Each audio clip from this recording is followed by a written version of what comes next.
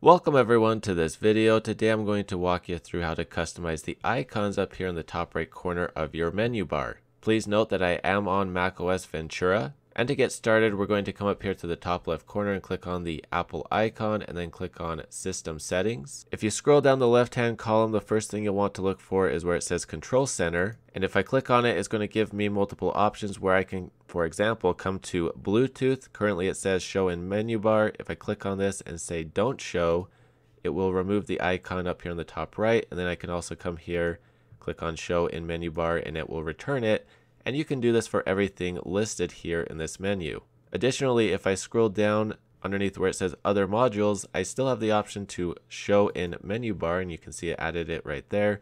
But I can also click on this second option to show in control center and it adds it right here in the control center menu. If I toggle it off, it will remove it from the menu and if I toggle it off for the menu bar, it will also remove it up here. Continuing down, you'll find additional options for the menu bar, including clock options. I can click here, and here I can make some customizations such as between digital and analog. You can see it changes it. I can change it back. I can also do a 24 hour clock if I'd like to. All of those options you can find here, and when you're finished, you can go ahead and just click on done. A couple quick side notes, if you click on desktop and dock, here you will find a small section titled menu bar. And if you want to hide the menu bar, you'll find those options right here. For anything else you are looking for, this search is very useful. You can type in menu bar and go down the left hand column to see all the different options you can do or customize with this menu bar. That's everything for this video. If you have any comments or questions, please post them down below. If you like this video, please give it a thumbs up and please consider sharing it. And if you'd like to support the channel, go ahead and hit that join button, the subscribe button, and that bell notification icon to get notifications on future videos. Thank you very much for watching. Hope you have a great day.